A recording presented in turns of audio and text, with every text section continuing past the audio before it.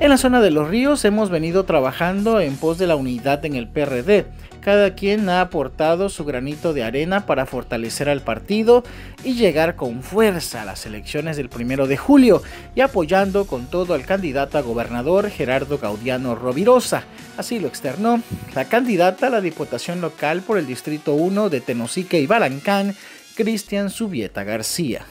Venimos a, oficializar nuestro registro para ser candidatos a la Diputación Local de Tenosique Balacán, de donde soy oriunda. Por supuesto, hemos venido haciendo unos trabajos desde que nos nombraron eh, en unidad, hemos venido ya conformando las estructuras, eh, venimos de alguna manera también este, solucionando algunos eh, espacios que habían, ya, les, ya, ya estamos bastante, bastante completos. Por supuesto, quiero decirte que Gerardo Doriano es la estrella de esta elección y lo vamos a, lo vamos a esperar con mucho, con mucho, con mucha alegría para poderle llevar, para llevarlo de la mano a todo el recorrido de la región Ríos, Tenosique.